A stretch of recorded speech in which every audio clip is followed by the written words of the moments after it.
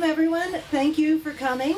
Um, this is the grand opening of the University to Downtown Bikeway, and we have ordered the weather special for this. So thank you all for being hardcore and coming out. I really appreciate that.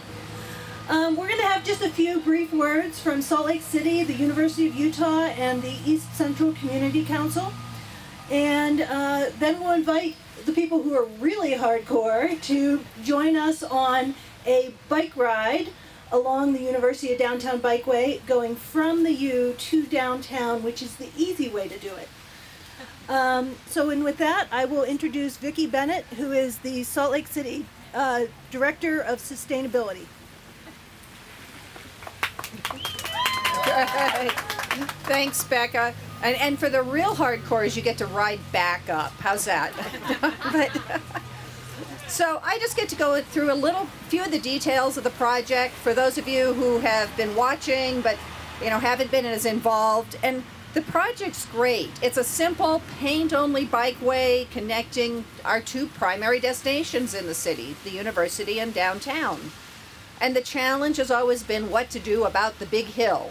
And again, the hardcores have got it made. The people who aren't quite so hardcore have been looking for other ways up and down. And so, in keeping with Salt Lake City's feel and you know the fact that we're a ski city, the lay, there are now three possible routes which have green, blue, and black diamond signs, just like you were on a ski slope.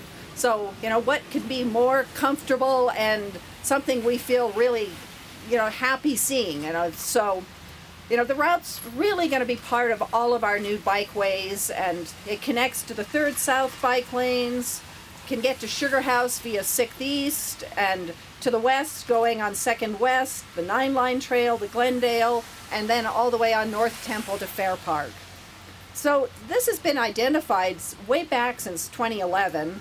We've gone through a lot of public input, worked with the pedestrian bicycle master plan, and really worked a lot to figure out how to get this route we feel like there's been a lot of community support. We really ha- ask, you know, are happy with everyone's input and thank everyone for what they've provided.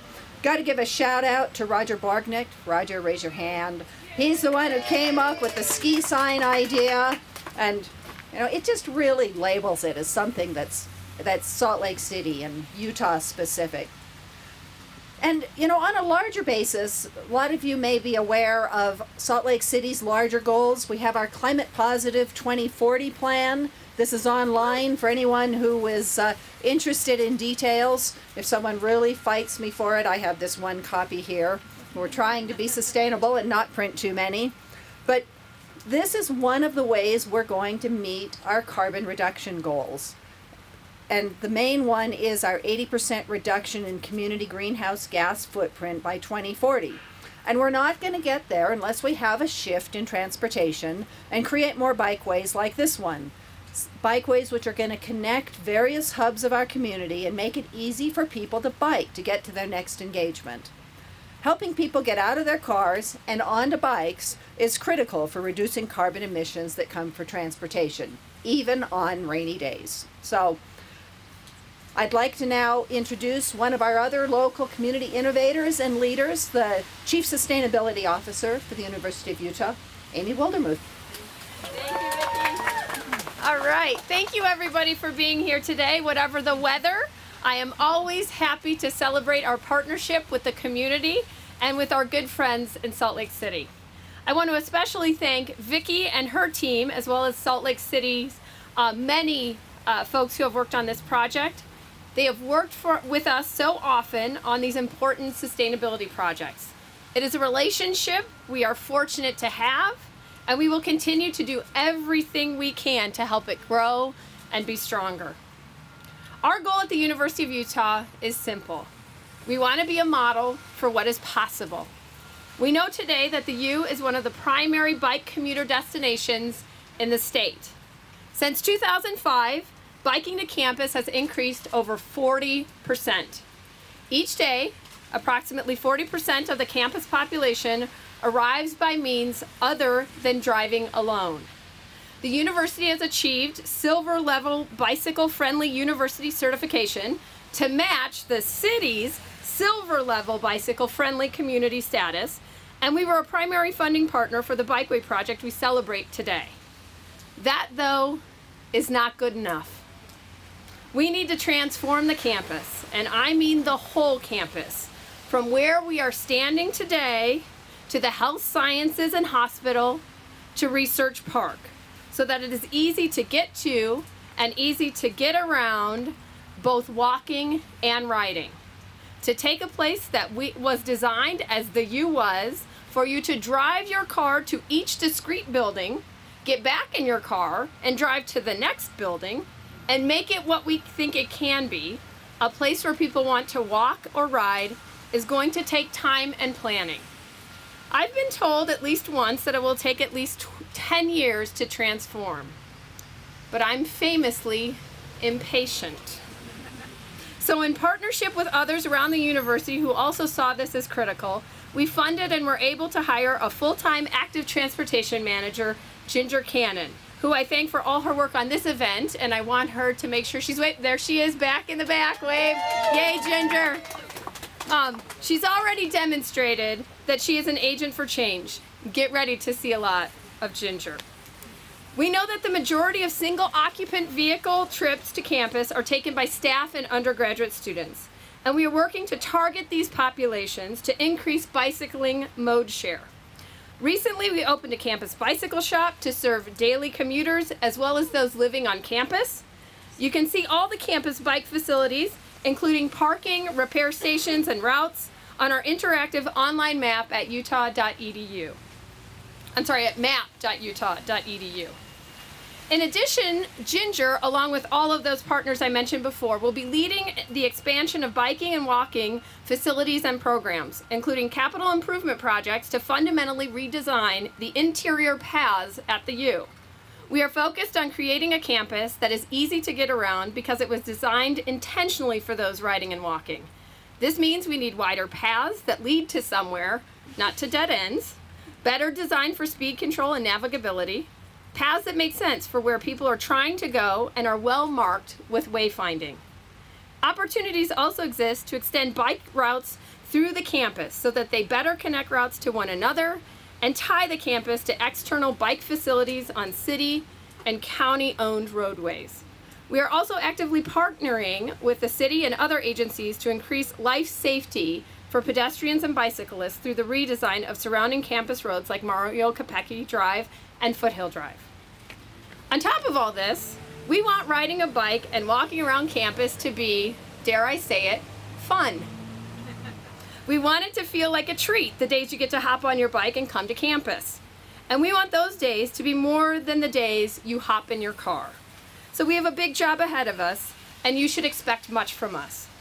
Biking is very important, as Vicki mentioned, for its contribution to our wellness and for its help in bettering our air quality and reducing our carbon footprint.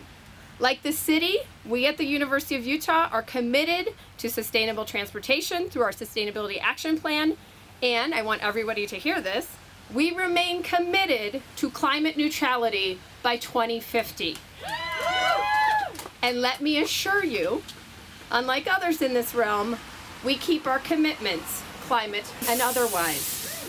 Thank you again for joining us today. Thanks for all to all of you who made this possible, and thanks to all the efforts that put this pathway in place, which serves as a shining example and model for what we will do in the years to come.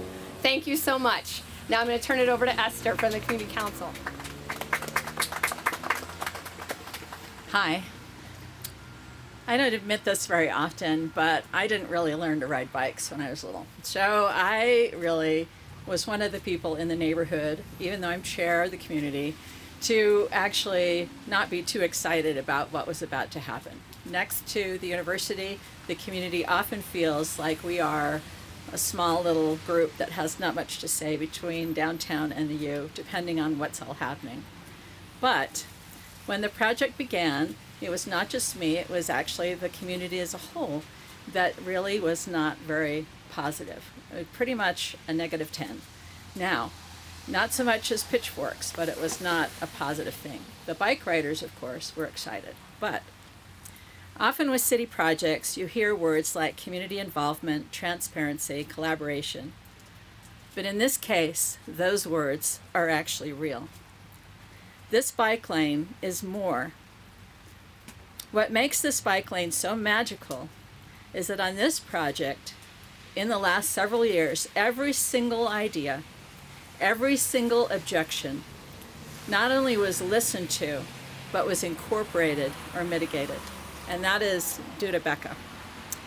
Everything from parking to sewer runover to little ones to pedestrian safety improvements that were made. We have newbies like me, all considered. We have the elderly, we have the students, we have everyone who is trying to ride the bike. And all of the good sustainability goals that we're all trying to care about really became real. The community involvement process was a true collaboration. That included everyone, not only with surveys and work groups and committees, but even a sitting down with every single neighbor that possibly had an objection and what we might be able to do to solve that in a positive way. And that is really something. Whether an expert or a newbie, young or old, you can ride a little, you can ride a lot. This lane has it all. This lane brought us together. The best in us, the best of the human spirit, is made us a real team. It shows what's possible. So it's much more than just a bit of paint and some emissions that we're all going to improve in the future. It is something that really brought together the community, the university, and the city in a project that was outstanding. Thank you.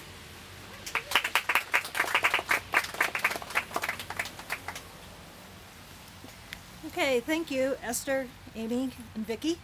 Um, we are uh, pretty much set to ride. I did want to invite everyone here to uh, pick up a couple publications while you're here. One is the uh, Bikeways map. This is available along with the refreshments under the tent.